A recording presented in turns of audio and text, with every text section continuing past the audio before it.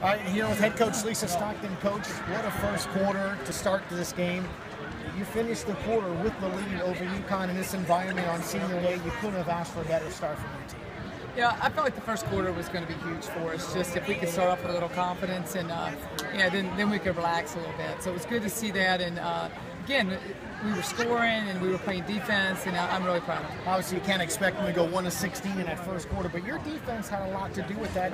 You were rebounding, you were contesting shots, and your team was making shots three nothing, five nothing before they scored their first point. Yeah, and uh, you know, I, I, thought there was a lot, a lot of contact and a lot of things there, and some, some fouls went against us in that first quarter. But you know, it, it was really good to see our kids playing so hard and so confidently. And uh, you know, even the whole first half, we're down 16 at half, but it really broke it open in that last two minutes of. Now they're the defending national champs. They're going for the four straight. They're good, but not a single free throw in two straight games. We haven't shot a free throw in this building in two years. Yeah, you know, two years. so uh, it, it's pretty tough. You know, that's pretty tough, and uh, you know, it's. Uh, again, there's some things you can't control. You know, I thought we were pretty aggressive. I thought we were aggressive to the basket, and um, you know, but we did we did some good things.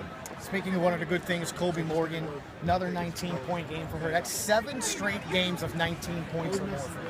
And just competed today. You know, you, when you go up against the kind of players they have, and uh, you know, I, I, was really proud of her tonight. I, I think she looks like a big time player overall the close here obviously the first half the way you did in that first quarter huge learning experience and i think a good boost for your team moving forward to the tournament well, one thing I, I told the team is I, I felt like that in, in, the last few weeks we, we just got a lot tougher. Uh, you know, we're, we're, able to play a little bit more confident. We're a little tougher, and with, with this young group, that's a good thing to see. All right, that's head coach Lisa Stockton.